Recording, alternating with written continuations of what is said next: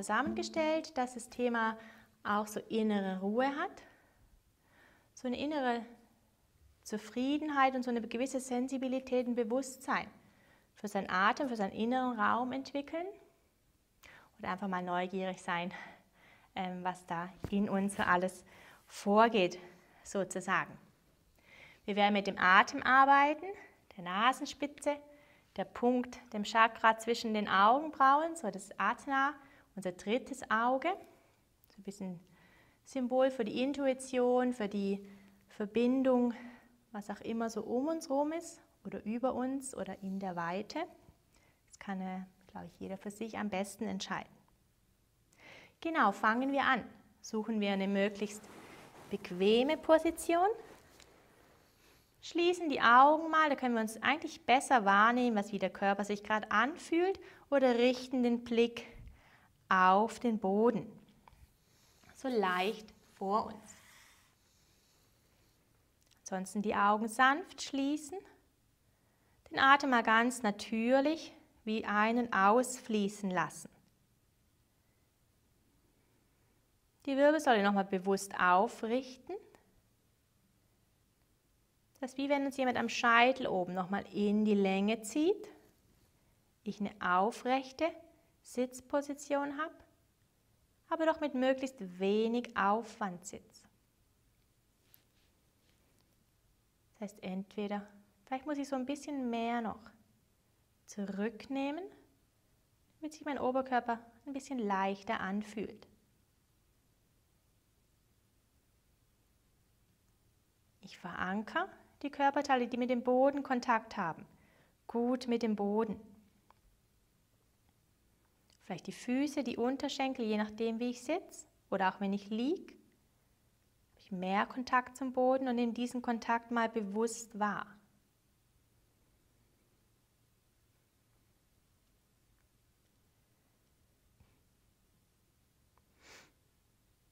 Gehe mit der Aufmerksamkeit vom Kopf, von dieser Krone auf unserem Kopf, bewusst einmal durch den Körper durch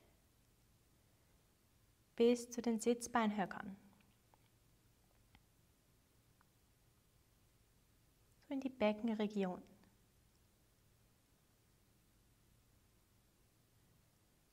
Und wander dort ein paar Mal wie von den Sitzbeinhöckern der Beckenregion auf und ab. Und versuch so innerlich die Spannung ein bisschen mehr loszulassen, wenn ich eine entdecke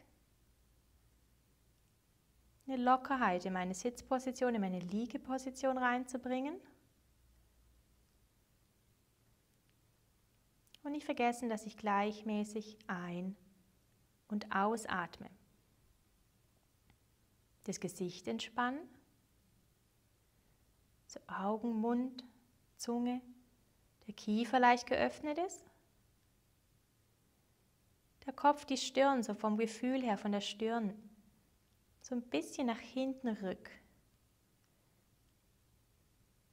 Dass wie sich mein Kopf innerlich absenkt. Dass ich oben ganz leicht bin, leichter Kopf, leichter Oberkörper. Und das Becken, die Beine schwer und gut mit der Erde verbunden sind.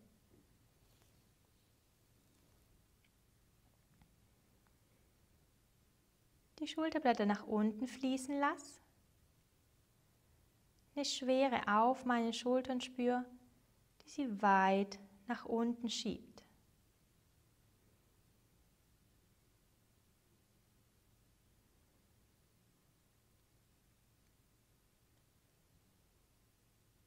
Bei jedem Einatmen so eine Breite und eine Weite in mir drin spüre breiten Raum, der sich ausfüllt. Vom Kopf über den Hals, die Brust, der Brustwirbelsäule hinten, den Bauchraum bis runter ins Becken.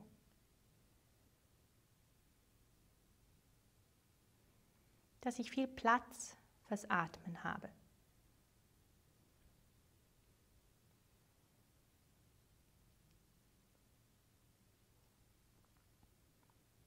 Dass mein Atem so frei und leicht, so ganz einfach läuft. Ich wie so die Luft innerlich fallen lassen kann. Ich kann sie wie oben einfangen wie nach unten fallen lassen durch den großen weiten Raum.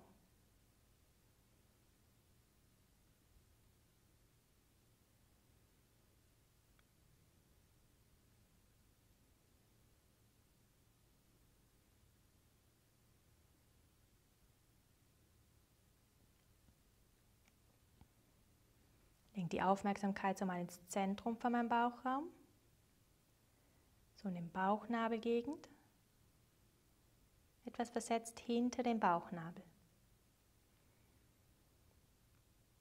Und schau wie von innen zu, wenn ich einatme, dass sich die Bauchdecke, der Bauchnabel nach außen schiebt, der Raum größer wird.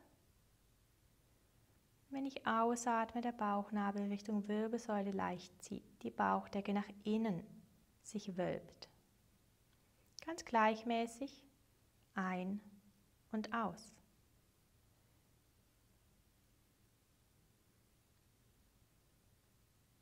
Dieser inneren Linie wieder nach oben wandere, übers Brustbein, den Hals, so den hinteren Teil von meinem Gaumen bis nach oben den Punkt zwischen meinen Augenbrauen.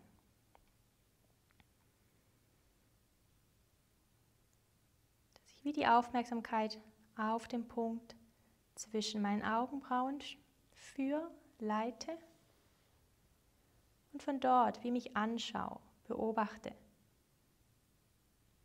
wie mein ganzer Körper atmet.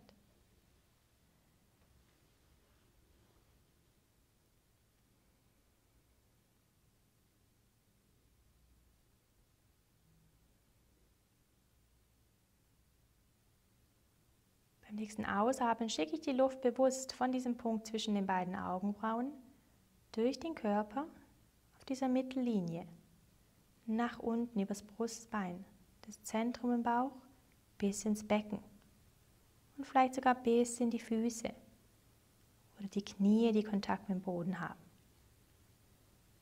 Atme ein und schicke die Luft wieder auf dem gleichen Weg.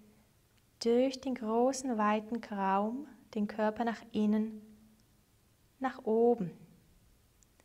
Bis zum Punkt zwischen meinen Augenbrauen.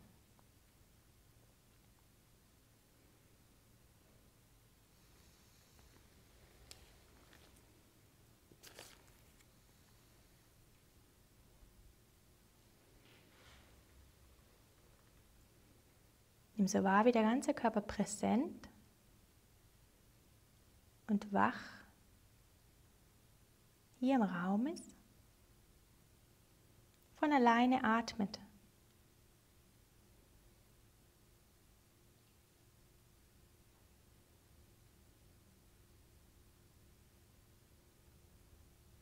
Kann schauen, ob ich die Länge der Einatmung gleich lang habe wie die Länge meiner Ausatmung.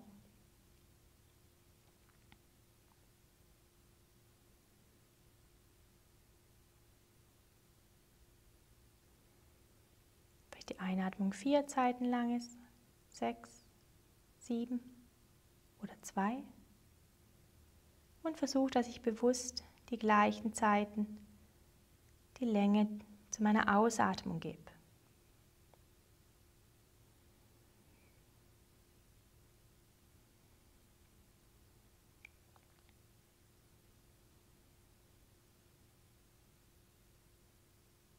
Wenn ich einatme, Vielleicht so die kühle Luft wahrnehmen, die sich dann im Körper ausbreitet.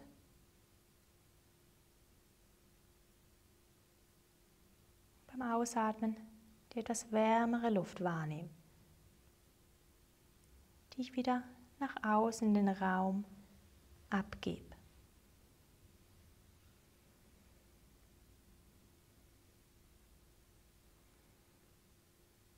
Lenke meine Aufmerksamkeit bewusst mal zur Nasenspitze. Sie vielleicht ganz empfindsam und sensibel ist. Ich ganz genau dort beobachte. Durch den ersten Kontakt von der Luft zur Nasenspitze. Und mit die Luft dann durch die zwei Nasengänge nach oben wandert bis zum Punkt zwischen unseren Augenbrauen und von dort wieder, wie in so einem Tunnel in der Röhre, nach unten Richtung Nasenspitze ich wieder ausatme. Beim Einatmen durch die Nase hoch bis zum Punkt zwischen meinen Augenbrauen.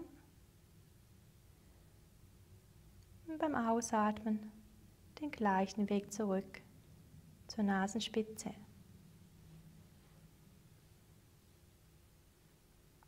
Einmal die Rutsche wie nach oben klettern muss, zwischen dem Punkt bei meinen Augenbrauen, an dem dritten Auge, meinem Atmen. Beim Ausatmen die Rutsche volle Energie wieder nach unten fahren kann, zu meiner Nasenspitze.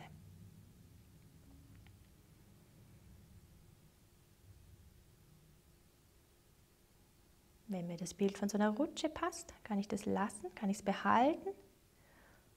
Oder auch sonst bei jedem Einatmen denken, dass ich viel Energie mit der neuen Luft aufnehme, die über die Nasenspitze, die beiden Nasenflügel nach oben in meinen Körper eindringt,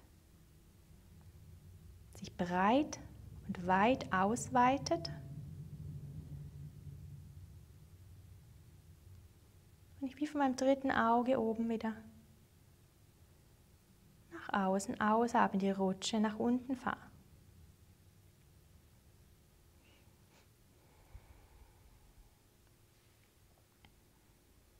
Wenn meine Gedanken jetzt vielleicht abgeschweift sind, dann nehme ich das einfach bewusst wahr. Stellst du die Gedanken wie auf einem Regal oder auf einem Parkplatz ab und komm dann wieder zurück mit der Aufmerksamkeit zum Atemfluss zwischen, Nasen, zwischen Nasenspitze und dem Zentrum zwischen meinen Augen.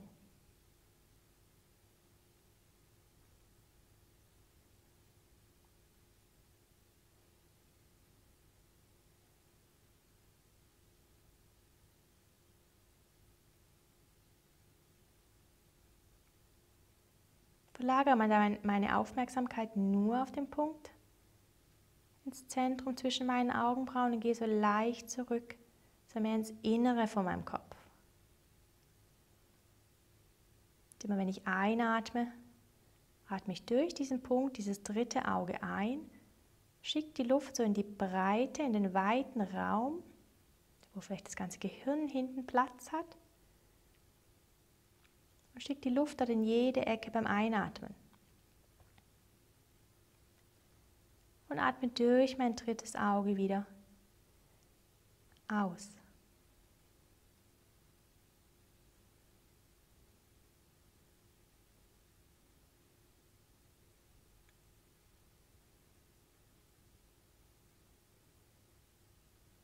Lasse meine Aufmerksamkeit vielleicht dort oben im Kopfraum, aber auf meinem Atem, die ganzen Empfindungen, die ich mit meinem Atem wahrnehme.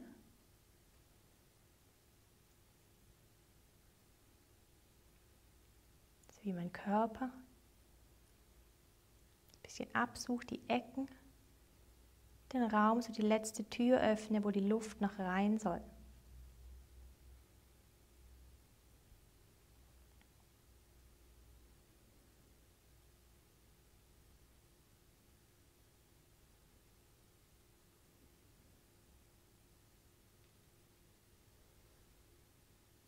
Das wie in diesem großen, weiten Raum, der ganz viel Platz hat. Ganz hier mit drin auch ganz viel Stille. Der Atem so sanft ein und ausfließt. Der ganze Körper atmet wie der ganze Körper meditiert.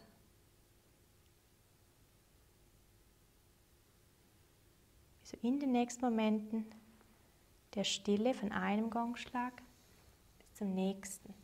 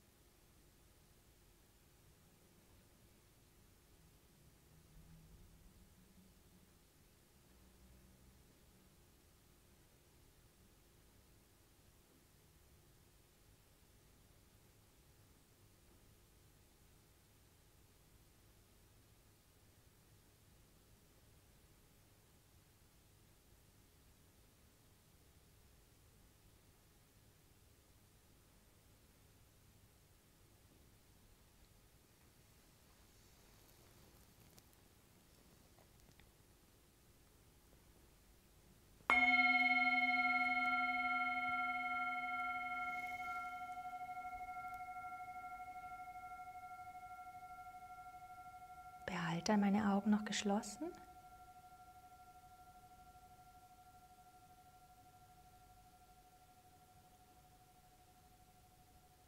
mag vielleicht meine Hände vors Herz legen, so flach. Vors Brustbein, vors Herz. Den Herzschlag nochmal spüren. Vielleicht den Atemzug wahrnehmen. Die Stärke vom Herzschlag. Wie so meine innere Stärke wahrnehmen dieses tiefe innere Selbst, das da ganz hinten fest verankert sitzt.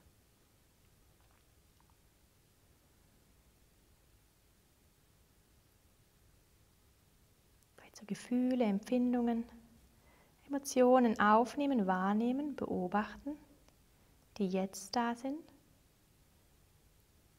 die während der Meditation aufgetaucht sind.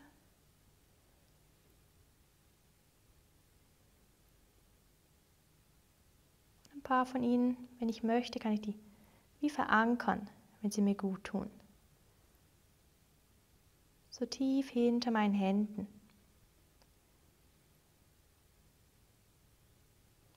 wie so eine Art bedingungsloses Wohlbefinden vom Körper spüren.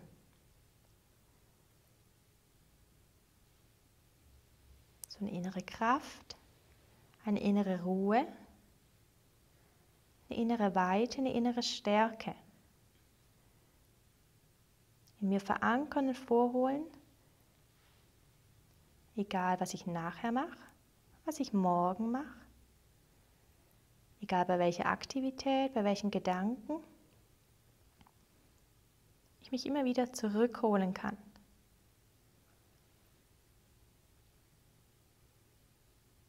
Zu diesem tiefen Wohlbefinden in mir drin.